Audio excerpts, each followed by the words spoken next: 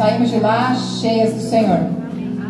Nós fizemos questão de trazer a nuvem que passou lá para nossa casa, para nossa igreja, porque durante dois dias o Senhor nos disse quando nós estivemos lá que nós viajamos quatro horas para chegar e no caminho eu sofria com aquela distância e o Senhor me disse: Deixa aí o meu povo para que me adore.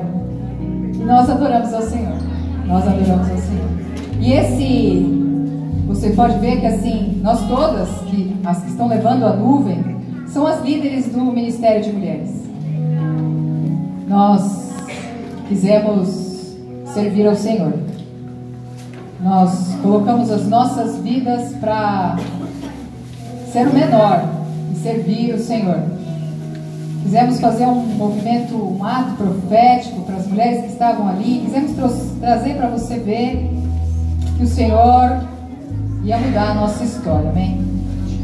Que foi ministrado aqui, foi ministrado lá.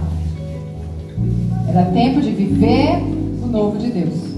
E a nuvem do Senhor traz a chuva serôdia que rega a terra.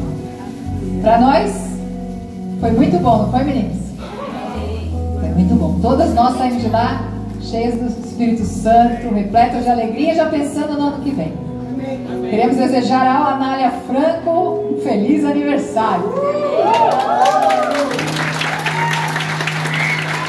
Que o Senhor venha com a sua bênção sobre todos nós.